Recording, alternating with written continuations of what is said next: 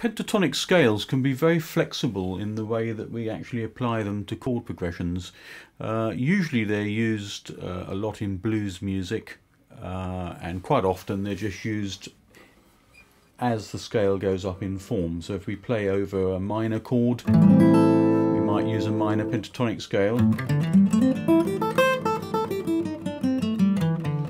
Actually I slipped in a blues note there as well, uh, which is a very similar related scale, the uh, A minor or A blues scale.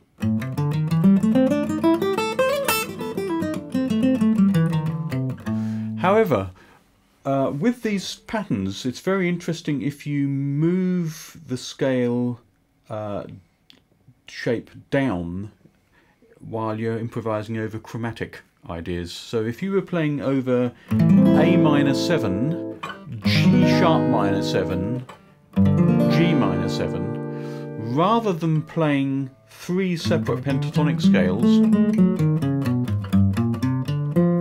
what's quite interesting is to keep the same pentatonic shape but simply move down to accommodate the new chord. So what I mean by this is is we can keep the first part of the pentatonic scale on the A minor.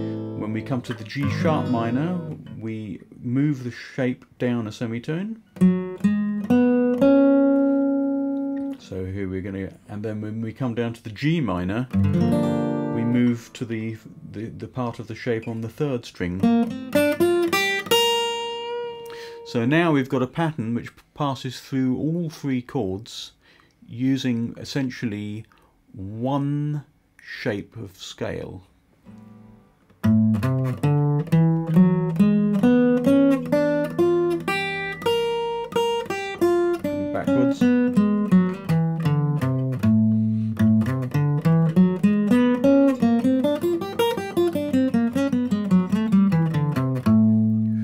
Which I think is a really useful way of looking at pentatonics, actually not just looking at them uh, going up uh, in one shape, but actually, um, if you like, joining the shapes uh, up, together. So um, that's worth exploring, I think.